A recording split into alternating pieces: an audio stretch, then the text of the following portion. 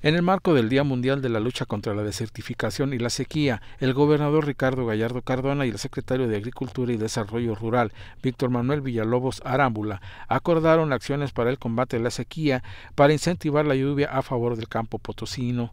En su intervención, el funcionario federal afirmó que a pesar de la pandemia y los efectos del cambio climático, el campo mexicano sigue siendo el principal motor de la economía del país. Sin embargo, Existen fenómenos como la sequía y la desertificación que afectan la productividad de manera global y que representan un verdadero reto para el desarrollo territorial sostenible y con eh, justicia social para nuestro campo, el campo mexicano afirmó que desde el gobierno federal y en coordinación con los gobiernos estatales se han emprendido acciones como la Estrategia Nacional de Suelo para la Agricultura Sostenible y proyectos de estimulación de lluvias para la reactivación del campo.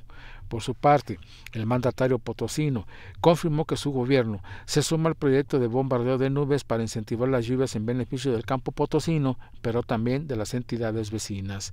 Que el problema de la sequía, el problema del cambio climático, el problema que nos tiene aquí a todas y todos, no sería problema si no se politizara tanto.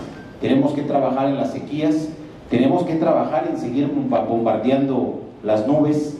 Eh, hemos sido de los estados súper, súper bendecidos.